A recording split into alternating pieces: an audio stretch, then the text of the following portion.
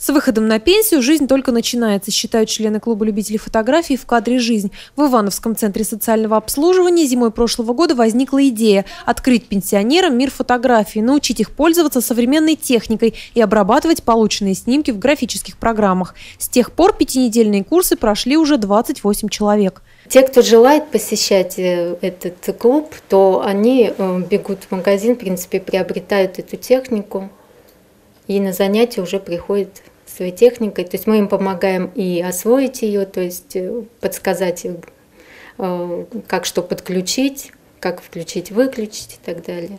Первые занятия посвящены азам фотографирования. Пенсионеры пользуются разными режимами съемки, учатся делать портреты, снимать движущиеся объекты и осваивают макросъемку. Затем работа в графических программах. Слушатели курсов обрабатывают фотографии по цвету и обрезают их. Последний шаг обучения – составление коллажей и презентаций в программе PowerPoint.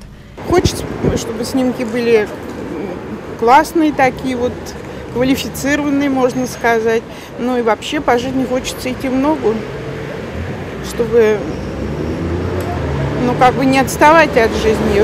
То, что пенсионеры, это не факт.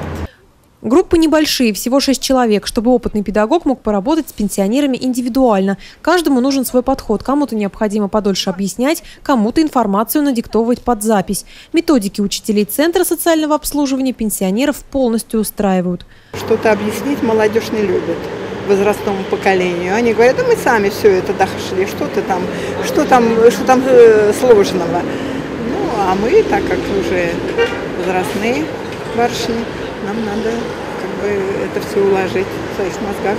Каждая группа по завершению курсов готовит выставку собственных работ. В этот раз тема Иванова «Вчера и сегодня». Задача для фотографов – запечатлеть виды города по старым снимкам. С выходом на пенсию я решила ездить э, в туристические путешествия за границу. И э, мне это очень было интересно. И э, я пользовалась фотоаппаратом, но пользовалась на автомате, как придется. И, а мне хочется получить такие знания, чтобы фотографии получались хорошего качества, э, чтобы могла и фотоаппаратом пользоваться, и видеосъемками.